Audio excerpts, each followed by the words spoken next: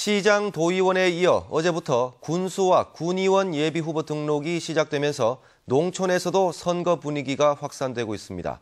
권영두 기자가 보도합니다.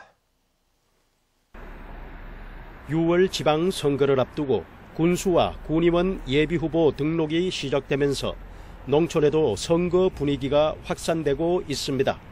전통 시장을 중심으로 어깨띠를 두른 예비 후보들의 발길이 이어졌고 소재지의 큰 건물에는 출마를 알리는 현수막이 내걸리기 시작했습니다.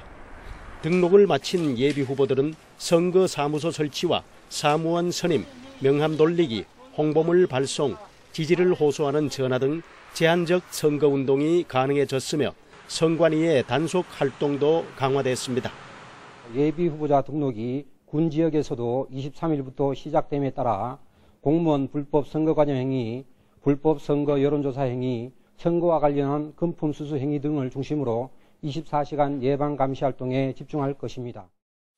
도지사와 교육감, 시장 군수와 의원 등 모두 369명을 선출하는 경북 지역 지방 선거에 예비 후보로 등록한 사람은 지금까지 536명, 후보 등록 마감일은 5월 14일입니다.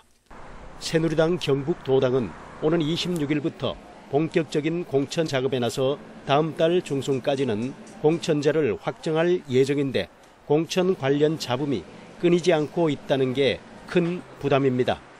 민주당 경북도당은 이와 관련해 새누리당 시장 군수 후보로 현역 단체장이 나홀로 신청한 곳이 여섯 군데나 되는 것은 지역구 국회의원과의 담합 결과라며 새누리당 경선 과정의 공정성은 이미 사라졌다고 비판했습니다.